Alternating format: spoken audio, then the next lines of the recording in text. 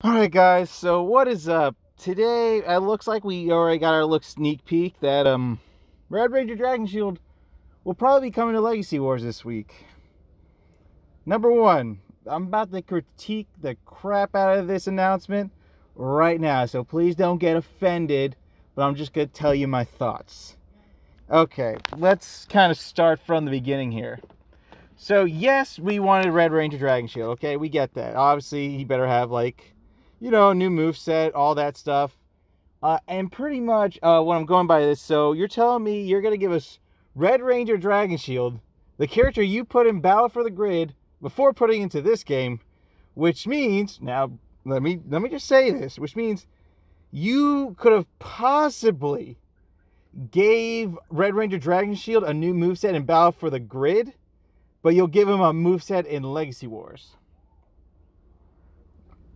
really pay attention when I say that because that's just interesting. So pretty much, okay, in my mind, it's like, okay, maybe they are more focused on the phone game. Because why would they just make a costume for Battle for the Grid, but now he's actually going to get a move set, which they could have saved, then released later for Battle for the Grid, where Jason with Dragon Shield would have a new move set. It wouldn't have to be a new character. He, his skin would change and we have his Dragon Dagger combos or something. Yada yada.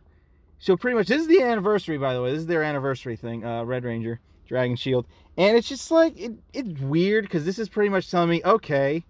So I guess in the coming weeks, we're going to see Mastodon Sentry. In the coming weeks, we might see Drakkon Evo 2 skin. But he'll have his Saba and Dagger and they'll add him to Legacy Wars. That's just my thoughts. Just chill out, guys. If you're going crazy. I mean, like, oh we go, Wolf is I know it's cool. Don't get me wrong. I think it's awesome that we're getting Red Ranger Dragon Shield. But why were we giving Red Ranger Dragon Shield and Battle for the Grid, who is about to have a completely new moveset in Legacy Wars? Food for thought. Just saying. But it's cool. I can't wait to see it. He's probably going to be an epic or legendary, possibly a legendary, so he can equal Tommy status, and then Jason has two legendaries. Tommy will have a second legendary, probably Zeo Red. Who knows? But uh, pretty cool, I guess. Good announcement. Hopefully the move set is new. And we actually get a great new character coming out. And this is what the three weeks we were waiting on for. Um, Red Ranger with Dragon Shield. So let's hopefully it's good. And he uses Dragon Dagger and he does his Sword Slash combo with the Dagger and the Power Sword.